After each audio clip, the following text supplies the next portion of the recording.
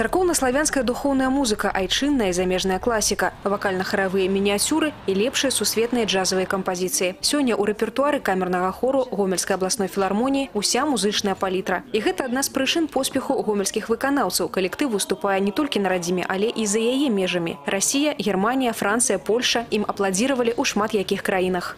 Конечно, э, нет предела совершенства, но камерный хор все-таки держит свою планку, достоинство. Раз он говорится о том, что он профессиональный коллектив, он должен иметь и эту же высоту, этот статус. Мы стараемся все сделать для этого.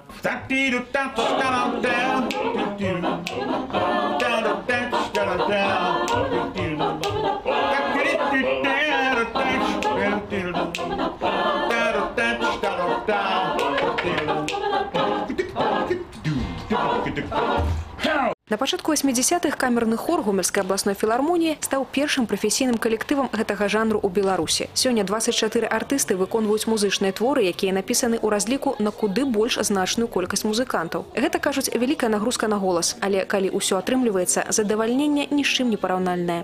Чтобы не было одно, одноразового, однобоко. Ста- Хочется чего-нибудь такого. Как оно получается, уже другой вопрос.